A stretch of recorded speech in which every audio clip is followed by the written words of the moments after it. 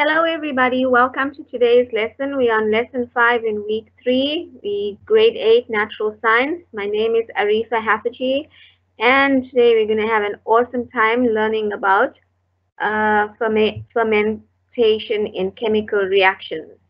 But before we do, uh, um, I'm going to remember the slide yesterday that went missing.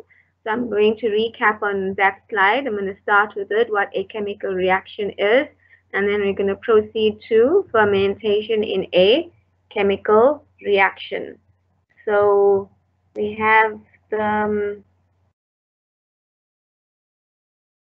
recap from yesterday, the missing slide that I had yesterday. So in chemical the in the chemical model of matter, you learned that substances basically changed physical. So you learned the physical change in in particles, which was basically the, the physical change of a solid, the physical change of a liquid, and the physical change of a gas. So now in the uh, in the chemical properties of the substances does not change. Okay, so um, you learned that the chemical substances do not change. It is just the state of going from a solid to a liquid to a gas that changed the state. So we're now going to look what happens when a chemical change takes place. So now chemical reactions is basically a chemical change in substances. And this occurs mainly through a chemical reaction. So we're going to see like how uh, here in the picture that I have, we have a hydrogen, we have hydrogen, we have oxygen, and we have um, water, the product. So these are the reactants and the product that where the hydrogen atoms and the water uh, and the oxygen atoms fused together became the product.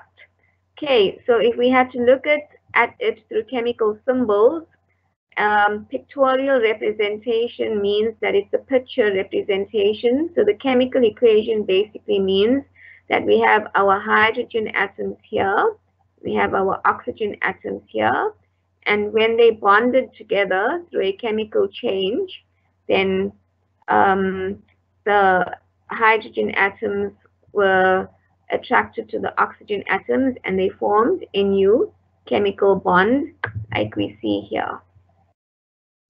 Okay, that's one way of showing a chemical bond. So now you're going to ask yourself, what is actually the definition of a chemical reaction? So a chemical reaction is basically a process that leads to chemical change of one set of chemical substances to another. So a process that leads to change, a process that leads to chemical change. So, you know, a chemical reaction is basically a process and it leads to chemical change from one set of substance, chemical substances to another. So basically from one substance here, like hydrogen, and you're adding another one, and then it becomes a product. So you need to know that the atoms and the molecules change. So when we have the reaction. So it's no longer a hydrogen um, uh, uh, component, neither is it an oxygen, it's fused together. So the molecules will change and it becomes something like the picture that I showed you here on the right hand side where I, I squared it in a very funny way. Okay, so you're going to ask yourself, how do you know a chemical reaction has taken place? So yesterday we discussed they were you use your five senses to know how a chemical react to know whether a chemical reaction change takes place. So that was sight, you can see it happening, you can hear it happening, you can smell it happening, you can um, feel it happening, and if you touch it, you can feel feel it happening. So now there's also you can also record there's a color change. Now, if you can see, this is, you've seen it.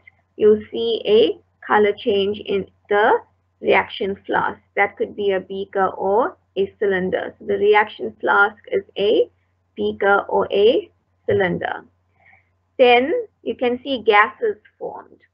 So usually we know a gas has formed when we see bubbles. Now you must not confuse it when with boiling. So boiling is not the same as gases formed because boiling is just basically the liquid is being heated. Okay, so boiling is just a, a, a particles or matter changing from a liquid to a gas, but it's not new gases that has formed like I will show you later on in the lesson while as we proceed through it. So you can also see a solid has formed. So through chemical change sometimes solids also form.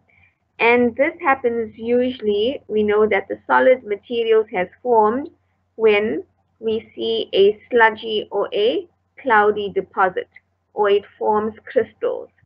So the solid material has formed when we see a sludgy, sludgy or cloudy deposit or crystals forming. Okay, so you see like crystals forming or you see some sort of deposit. So we also recap to recap yesterday, we said a, during a chemical reaction, materials are changed into new materials with new chemical and physical properties. So when two materials reacted together, we got a new chemical with physical properties. Then materials we the materials we start with are called reactants and the new materials that are formed are called the products. So we start with, so I'll underline it for you. We start with reactants. Okay, and then when those two react together, we get new materials. And these new materials, they form products. Okay, so during a chemical reaction, atoms are rearranged. So you must also know that in a chemical reaction, that the atoms rearrange it, rearranges itself. And this requires a chemical bond to occur. So when a chemical be um, uh, in the reactant, the reactants are broken up and they form a new chemical bond. And this results in a product formation. So you get a new product that is formed when you react to um, uh, substances together. So now we're going to go on to today's lesson and today's lesson is basically fermentation in a chemical reaction. So you're going to ask yourself, what does fermentation mean? What is she talking about?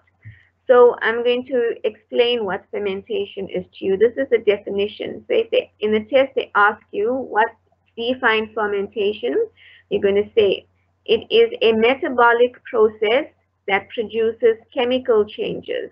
So it is a process that produces chemical changes in organic substrates through the action of enzymes. So in biochemistry, it is in it is narrowly defined as the extraction of energy. So this is an easier way to say it. It's an extraction of energy from carbohydrates in the absence of oxygen. Okay, so it's a metabolic process that produces chemical reactions in organic substrates. Okay, so my screen got lost. I'm going to ask my host to find it. So, um, I'm just waiting for my screen to come back on.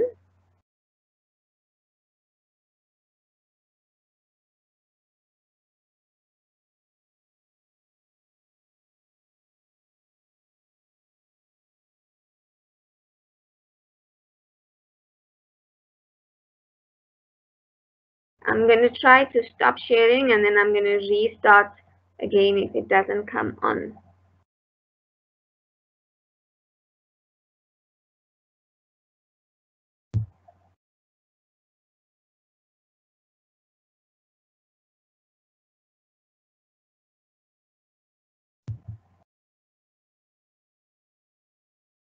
Okay, so we're back on. Sorry about that glitch. Okay, so now you're going to ask yourself, what does a substrate mean? So in science, a substrate a chemical species being observed in a chemical reaction. So it's the chemical substances that are observed in a reaction. So which reacts with a reagent to generate a product. So when we say it reacts with a reagent, you may ask yourself, now what does she mean by a reagent? So a reagent is a substance or compound that is added to the system to make a chemical reaction.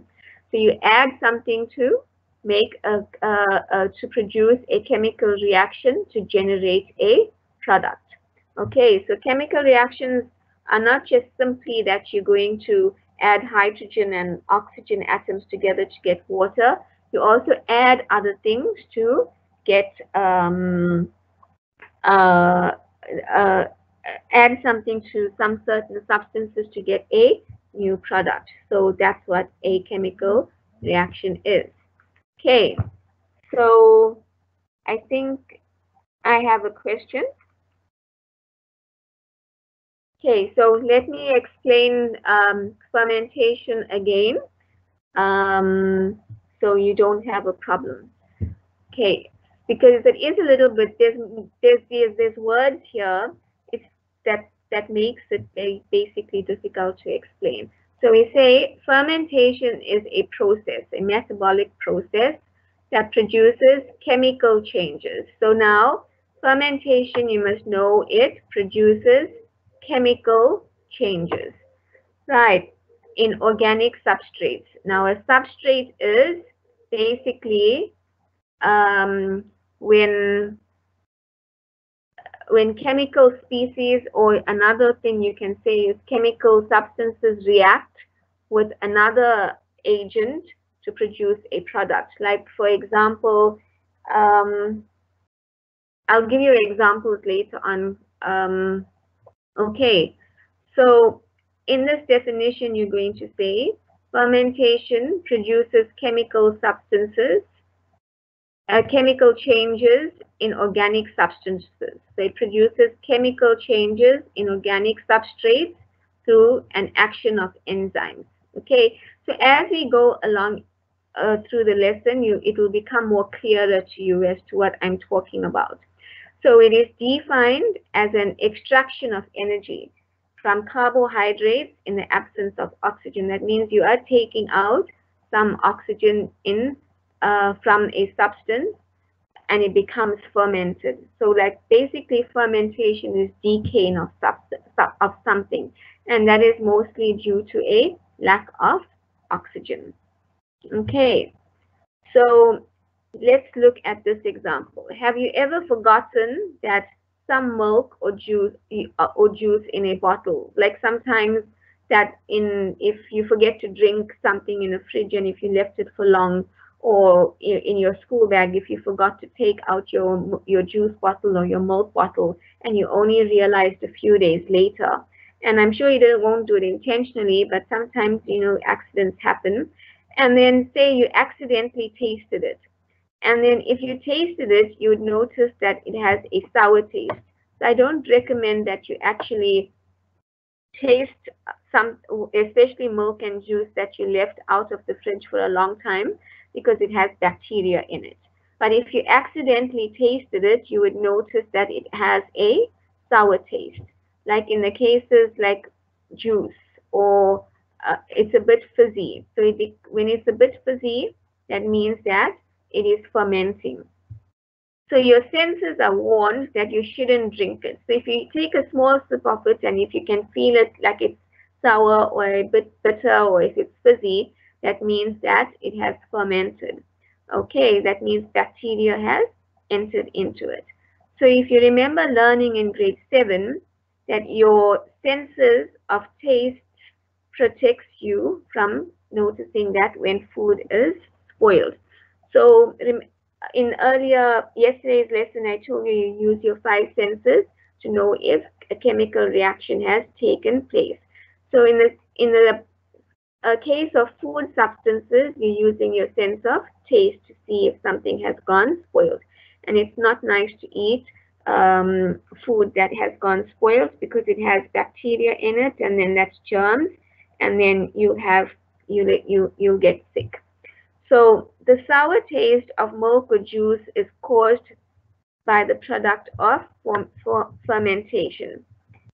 Okay, so now you must also know that when bacteria enters into something and it ferments it, that you've left it outside, it's not it's not good for you. But there are certain things that you can that that are that are processed that are fermented that you can have, um, and I'll explain that to you as we go on.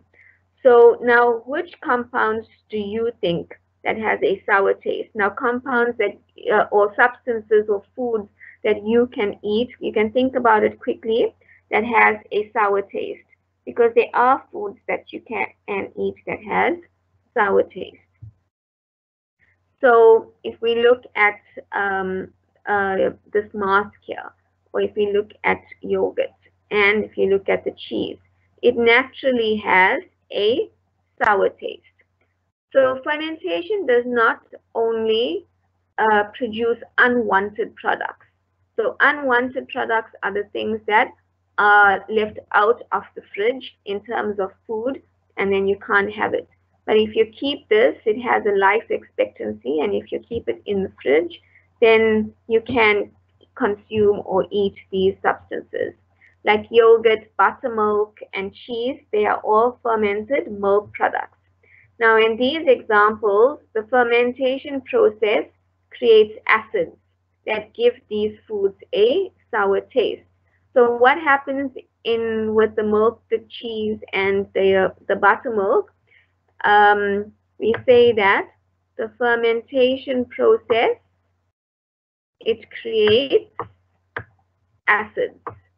And these acids basically give a sour taste. Okay, so in milk products, we say that during fermentation process, acids are created, and this is what gives it a sour taste. So fermentation is also the process by which a variety of fruits and vegetables and grains can be used to make alcohol.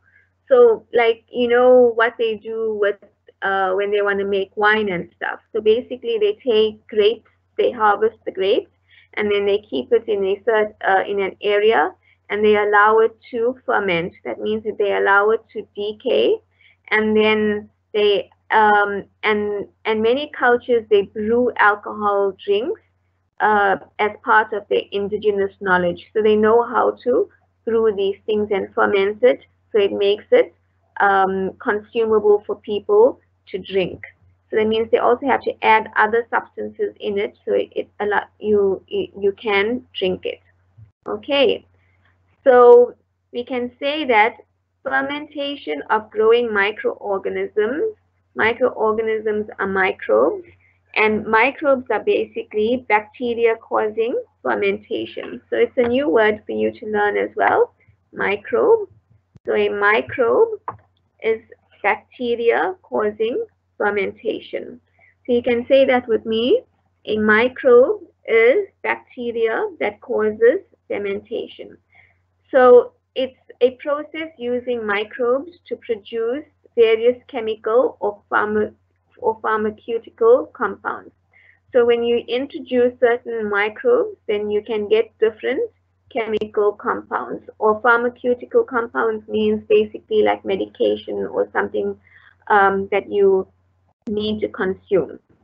So fermentation of microbes is how most biotechnology companies um, products such as produce enzymes and medicines.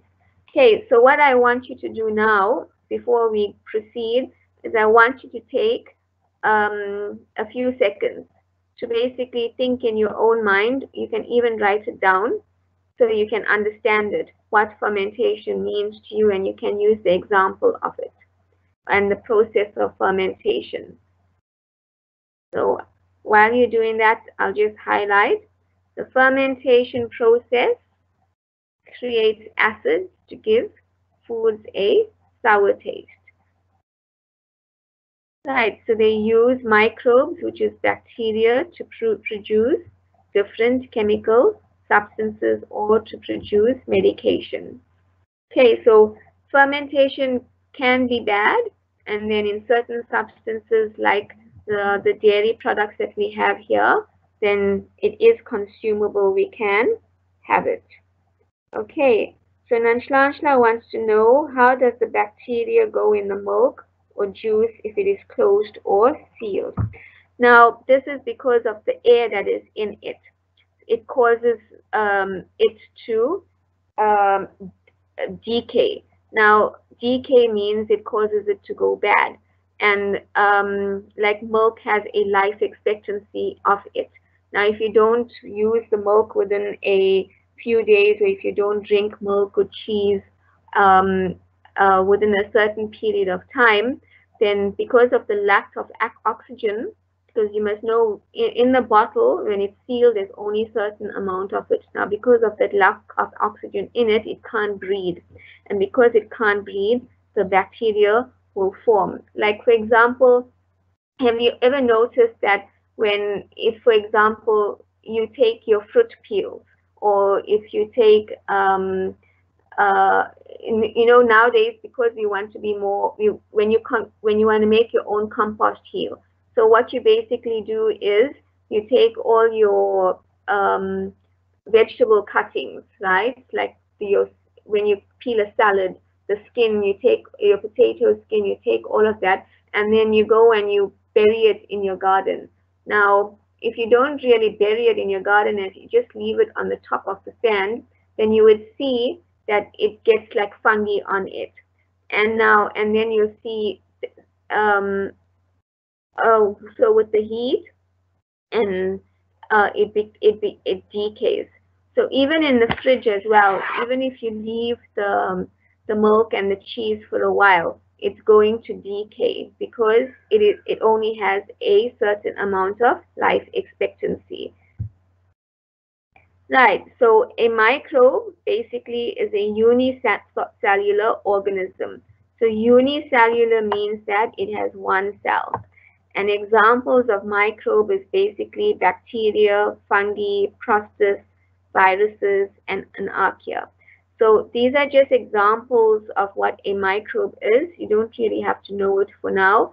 I think maybe the most important for now is just to know that um, the bacteria because we're dealing with fermentation. So let's study a fermentation reaction to help you understand it.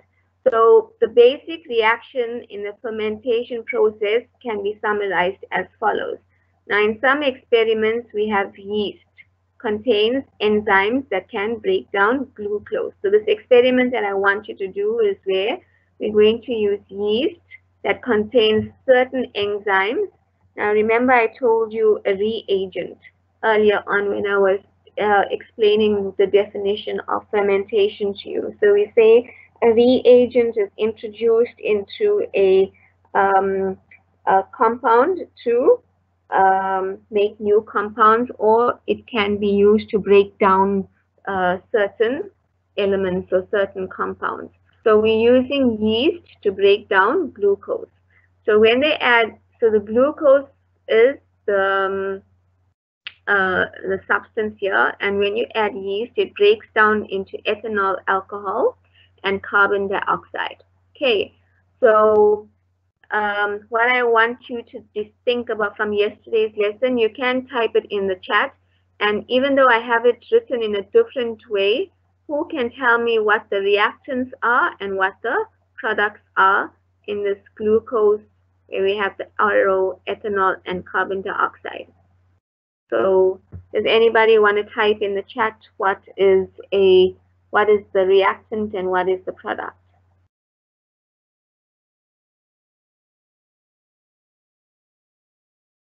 So I'll give you a clue if you're going to do that. I'll underline one and then I'll underline the other. Okay, so in yesterday's lesson, we said when you added two things together, these were the reactants, and that was um, the result of adding the two things together that gave you a product, and that uh, the glucose here is the product. But we put it in a different way because in, in the fermentation process, we are adding yeast to break down the glucose. Okay, so you can draw molecules to show how the atoms are rearranged during a rea reaction. So you can either basically do it in this easy way, or you can do it in the difficult way, where you can draw a molecule. So you can see that these this compound here has lots of um, um, atoms to it and attached to it. So basically, we can say for example, I'm just using the this picture as an example. This is a glucose compound here. Okay. And then when it is broken down, it is broken up into ethanol alcohol and it is broken up into carbon dioxide. Okay, so that's how we had to draw it. So you could see there's a lot of particles all fused together and attracted to each other in the glucose. And then when we break it down, it is broken out into smaller compounds.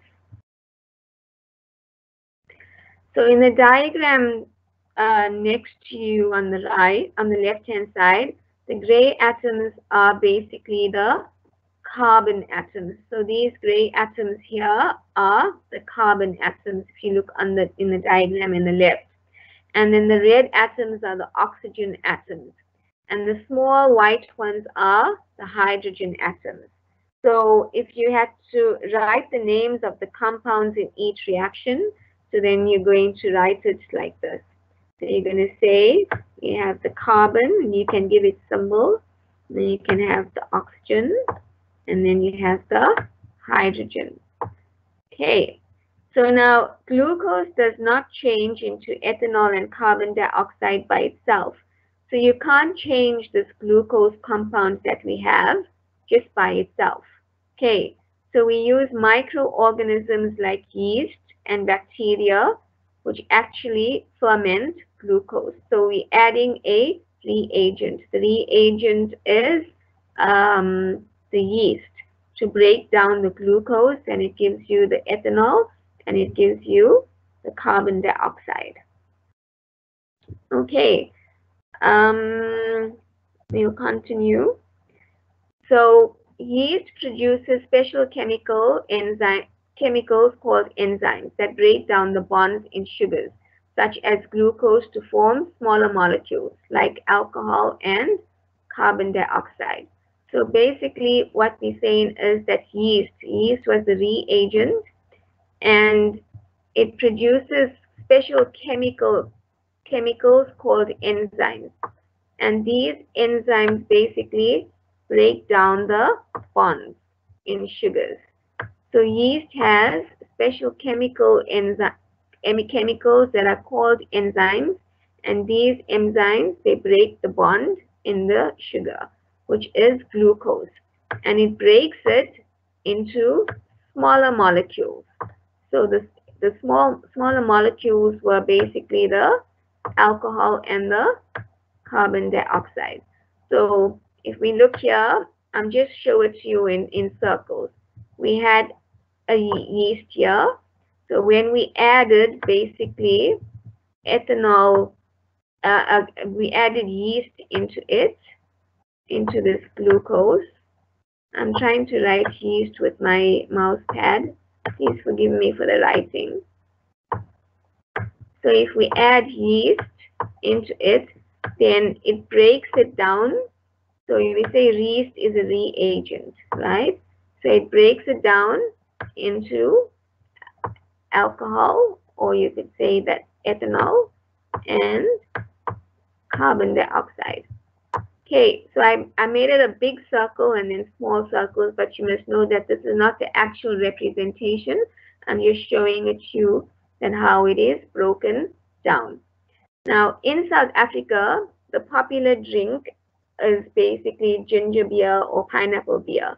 And this fizzy bu uh, bubbles in the ginger beer or the pineapple beer are bubbles of carbon dioxide produced by yeast during fermentation.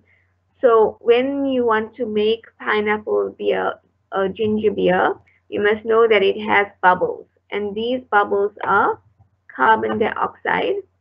Um, and this carbon dioxide is produced by adding yeast to it during the fermentation process. So let's make some ginger beer together. You can actually also do it with your parents at home. So you, you need to research how some traditional South Africans made ginger beer to consume. To consume means to drink it. So you're going to identify the ingredients you would need. So when you're conducting research, you need to first identify, you can Google it as well, and you're going to identify what ingredients do you need. Like even if you're going to bake a cake, so you will first need to know what the ingredients are. You can't just start baking it because you need to know if you have all of those ingredients before you actually start making the cake, uh, um, uh, making the cake, or, or actually not making, baking the cake. So once you have done so, you can decide the best recipe. So now when you were in the in younger grades, they taught you how to write a recipe and the recipe was provide basically to show you how to structure things. So when you write a recipe, first you need to know the ingredients. And the most important thing for you to know why what the ingredients are is you can't start doing something and then realize, oh, I don't have this. And then it stops the whole process immediately. You can't continue with making something because you don't have it. So when you have a list, it gives you a structure and, and you can pace your time out. Okay, I have all of this. So that basically means what um, it is about. So I have a technical glitch again because my screen stopped sharing. So I'm going to try and reshare it.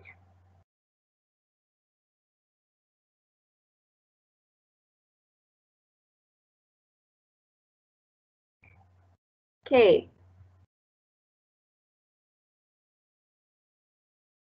Yeah, so I was talking about recipes and then you follow a method.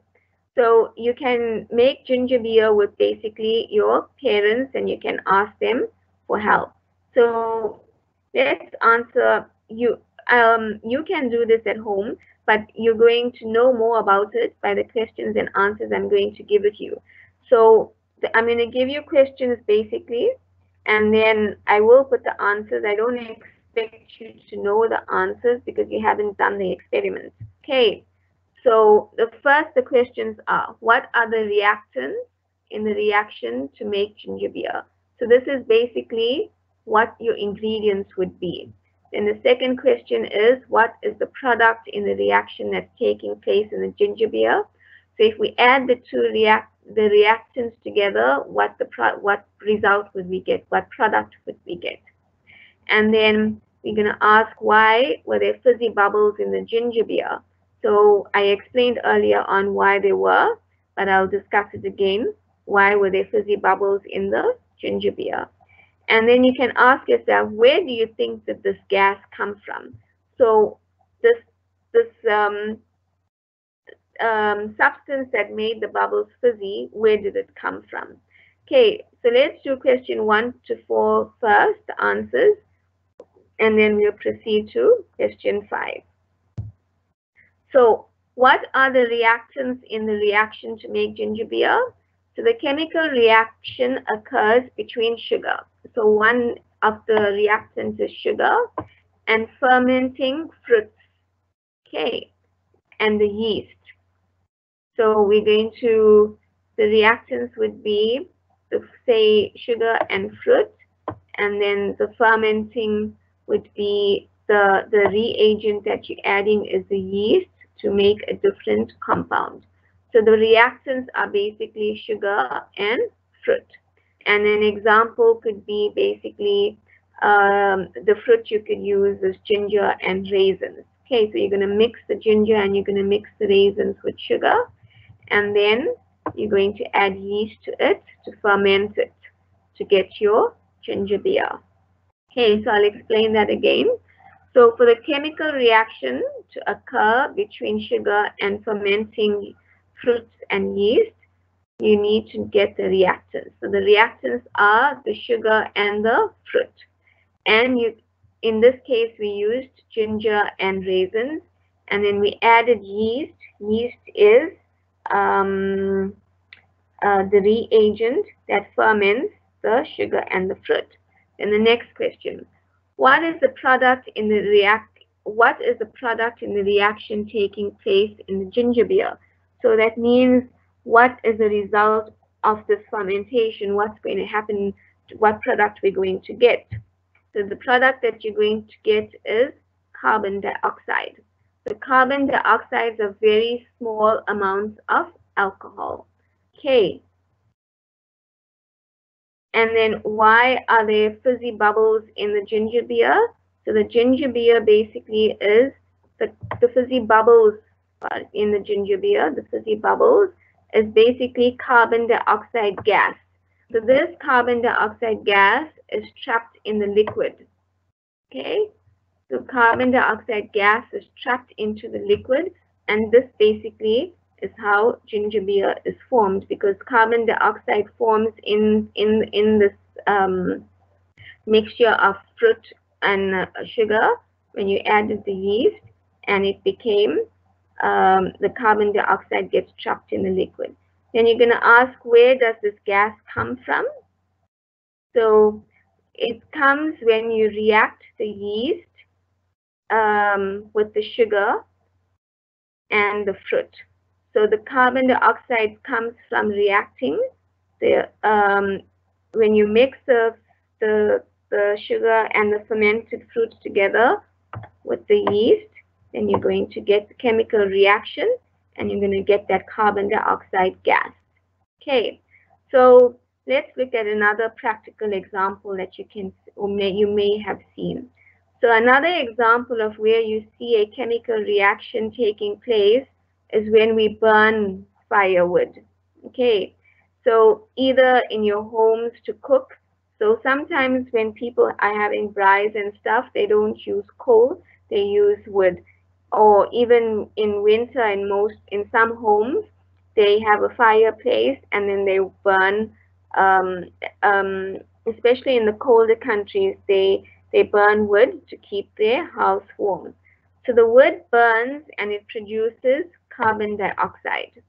The wood is burning and it produces carbon dioxide, which is a gas, and then it also produces water vapor from the heat. Okay, and you can ask yourself what are the products and the reactants from this process of burning wood. Okay, so your answer would be the reactants are the wood and the oxygen. So basically is what are you doing? So oxygen is mixing um, with the heat, with the heat to burn the wood, and then your reactants would be carbon dioxide and water. Okay, so now let's use the volcano experiment. Chemical reactions can help us to detect certain substances. Now, if you visit this YouTube site, it will explain it very clearly to you how different substances are formed like before and after. So some chemical reactions can produce results that are unique and even spectacular. Now, even though it's spectacular to watch a volcano um, experiment, you must pray that it never happens because when a volcano erupts, you all know it's very dangerous because it produces that molten lava that basically destroys and kills everything. So you can watch this experiment in on this YouTube address here. Um, and you'll see um, basically uh, how the chemical reaction um, is detected in certain substances. So I have these pictures here, but I'll explain the pictures just now to you. So when ammonia uh, dichromate burns in oxygen. So this here is this ammonia dichromate and it is burnt before. Okay. The a reaction produces bright orange sparks. So you get bright orange sparks when it is first reaction reacting. And the reaction from nitrogen gas and water and a dark green compound called ammonia uh, uh, called chromide oxide are products. Now, this is a unique reaction. Now, the only ammonium dichromate reacts with oxygen to form a particular product with these uh, visual effects. So this ammonia here is before it is burnt in oxygen. So can you see the color? So when it reacts with all these fancy words that I mentioned here on top, um, you get this ammonia dichromate before it is burnt in oxygen. Actually, it should be after it is burnt in oxygen. Okay, so we're going to see when two substances react in a unique and characteristic way, when they are mixed, then they, um, one of them can be used to detect the other. So basically what this means is when we react two substances in a unique way, their characteristics are mixed in a in, in, in a different way. And then when it's mixed, one of them can be used to detect the other. So we can have the before and the after. So please watch this YouTube video. It explains it very well. I'm not going to go too much into it. I just wanted to make you aware of how the reactions take place. But if you watch the video, it explains it excellently. I want so some chemical reactions from um, life and living. If you use lime water to detect to detect carbon dioxide in your breath, so this is an easy experiment. So what color is the lime water when you blew bubbles through it? So let's say if you had lime water here in this cup and you, you, blew bubbles in this lime water. So they want to know what color did the lime water turn when you blew the bubbles. So it turned a milky white color. Okay, so a lime water is a solution of calcium hydroxide in water. Now the reactions occur between the lime water and the carbon dioxide to produce the white substance. So basically in the lime water, so a reaction occurs between the lime water and the carbon dioxide. The carbon dioxide is basically the gas that you blew into uh, the bubbles that you blew into the water. And it produces that white substance, that white milky substance. And that white milky substance is called calcium carbonate. Okay, so I'll read it through to you just now uh, again. So the reactant for a reaction to occur when you blew carbon dioxide into lime water, it produced a white milky substance, and that white milky substance was um, uh, calcium carbonate. So today's lesson we seem to be having lots of technical glitches, so I do apologize for that and we'll try to solve the issue so we don't have a problem in our next lesson.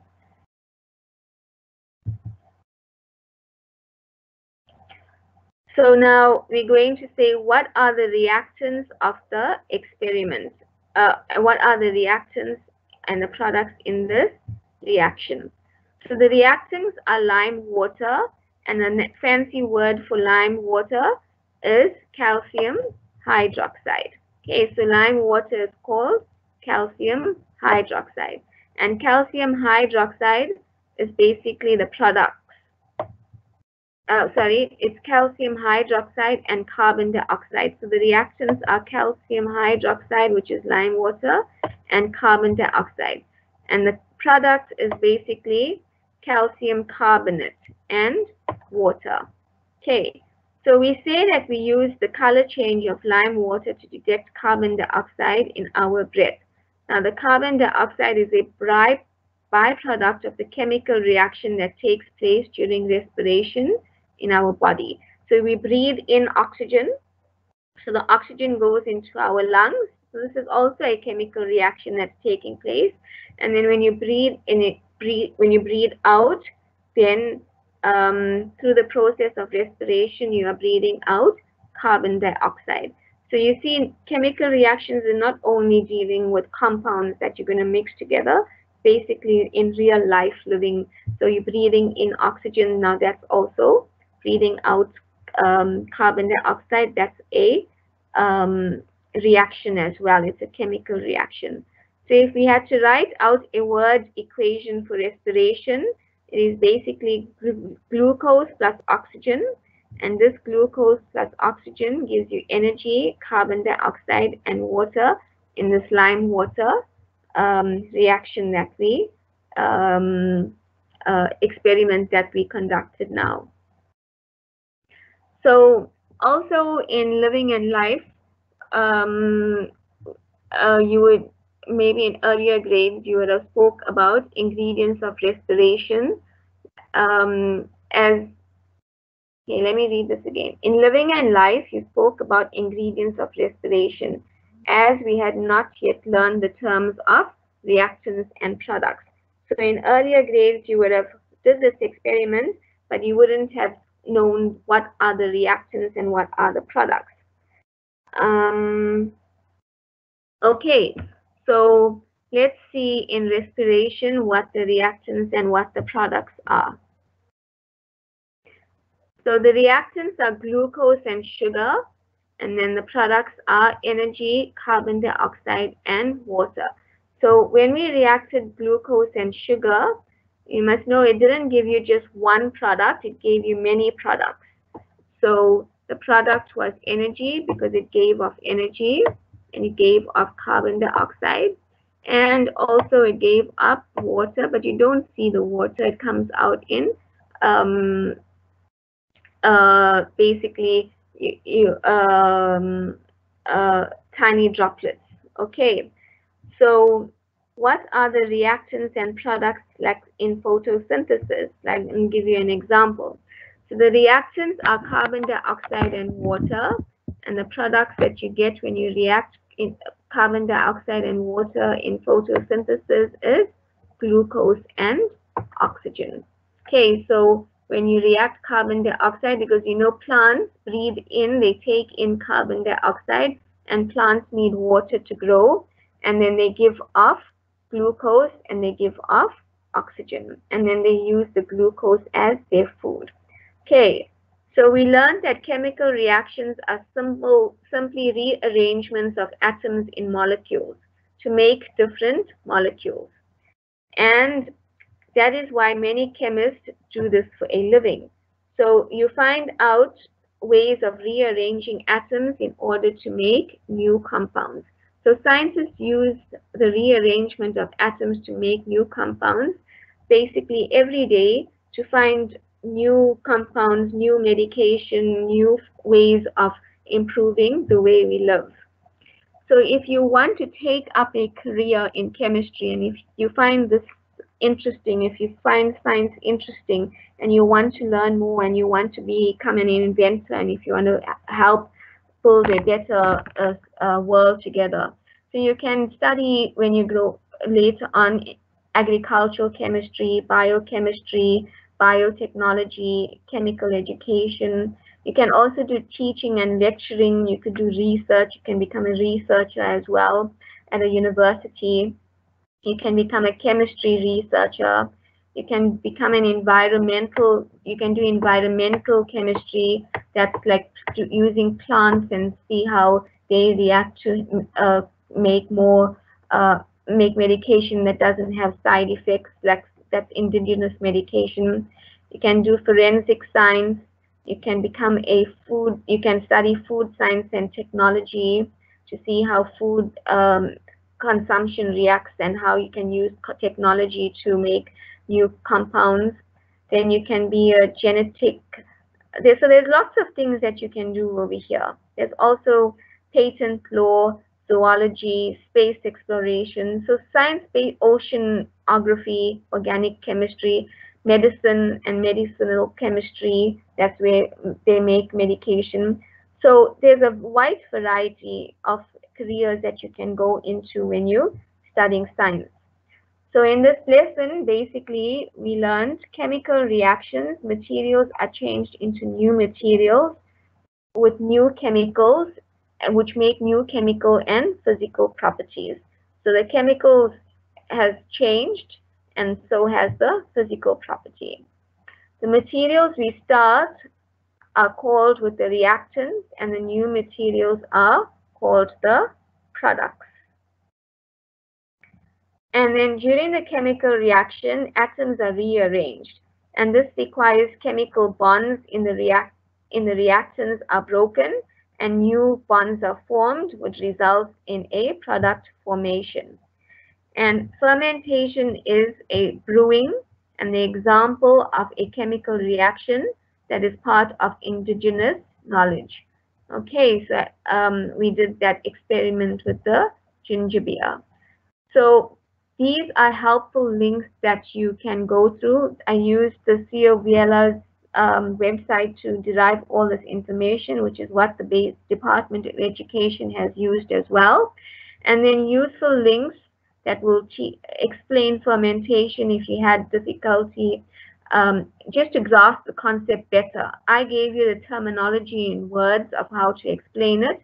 And you can watch the video that shows you how it takes place. And um, this explains it to you because you can learn it visually. And then how fermentation works as well. That's another video you can watch. Are there any questions that you need to ask me? You can write it on the chat. I will do a quick recap of this uh, on Tuesday. Then I will do the egg experiment that I gave you to do. And then we'll um, continue and proceed to with our uh, introduction of our next lesson. Okay, so if you, um, we're going to do fermentation in chemical substances as well.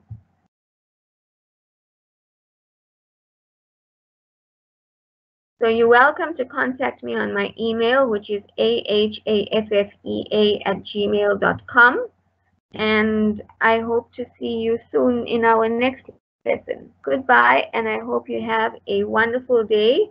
Um, it's a long weekend, so we're going to meet up on Tuesday on Teams. I'd like you to go.